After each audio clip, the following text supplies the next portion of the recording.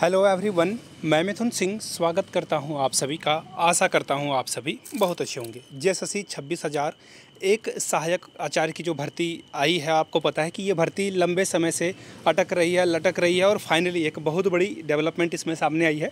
वो इस वीडियो में मैं आपके साथ साझा करूँगा कि क्या डेवलपमेंट है और ऑफिशियल नोटिफिकेशन जो जारी की गई है उसके बारे में भी बात करेंगे और जे का एग्ज़ाम डेट आपको कब देखने को मिलेगा, इसके बारे में भी इस वीडियो में बात करेंगे। सबसे पहले मैं आपको बता देता हूँ, जिन विद्यार्थियों ने पहले फॉर्म भर लिया है चाहे पहले चरण में या दूसरे चरण में, उनके लिए खबर है। देखो, बेवकूफ़ी बिल्कुल नहीं करनी है आपको अदरवाइज़ आप लंबे लफड़े में पढ़ने वाले हो।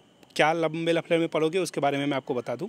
देखिए, फिर से जो है एडिट वाले ऑप्शन को आई मीन जो है ओपन कर दिया गया है। किन के लिए? प्रथम चरण और द्वितीय चरण में जिन लोगों ने आवेदन किया है, उनके लिए। अभी जो हाल में ही रिसेंटली जिन लोगों ने ऑनलाइन किया है, उनके लिए ये एडिट ऑप्शन नहीं खुलेगा। अब देखिए एडिट ऑप्शन में क्या है? आपको सब्जेक्ट चुनना है। जैसे कि मैंने आपको पहले भी वीडियोज़ में बताया है कि ये ऑप्शन सभी के लिए ओपन होना ही होना है। तो देखिए, जिन्होंने प्रथम और द्वितीय चरण में किया था सब्जेक्ट को चुन लेना है कि आप किस किस सब्जेक्ट की पेपर फोर में जो है एग्ज़ाम देने वाले हो, उसके लिए ये ऑप्शन आपसे मांग रहे हैं। अच्छी बात है। आपको वहाँ पे तीन सब्जेक्ट को चूज़ करना है। अब देखिए वहाँ पे ऑप्शन बहुत सारे हैं। आप टेक्निकली जो है, किसी भी ऑप्शन को चुनकर आगे बढ़ सकते हो, लेकिन दिक्कत क्या आएगी आपको मैं वो बता देता हूँ। प्रॉब्लम क्या आ सकती है आपके साथ? जो सब्जेक्ट आपने ग्रेजुएसन में पढ़ा ही नहीं है, जो सब्जेक्ट आपने ग्रेजुएसन में नहीं पढ़ा है, उस सब्जेक्ट को नहीं चुने। मेरे जो माइंड में चल रहा है चीज़ें, मेरे पॉइंट ऑफ़ व्यू से जो चीज़ें चल रही है, उसके अकॉर्डिंग आपको नहीं चुनना चाहिए। बाय द वे आपका जो भी सब्जेक्ट है, नीचे कमेंट करके बताइएगा कि आपका सब्जेक्ट कौन सा है।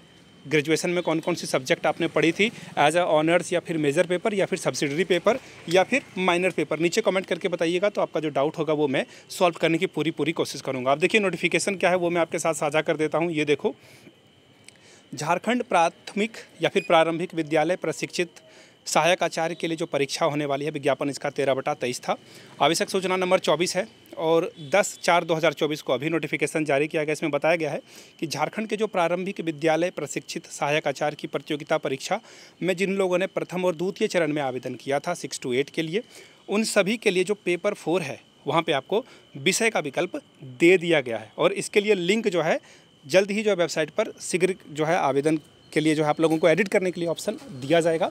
तो आपको एडिट कर लेना है। तो तैयार रहें। एग्ज़ाम हो सकता है कि बहुत जल्द आपका ले लिया जाए, लेकिन बहुत जल्द का मतलब जून के बाद। जून के बाद ही एग्ज़ाम होगा आपका। लेकिन तैयारी में रहें। करंट अफेयर्स की वीडियो आपको रेगुलरली मिलते रहेगी चैनल पे। तो चलिए, मिलते हैं किसी और वीडियो में, किसी नए इन्फॉर्मेशन के साथ।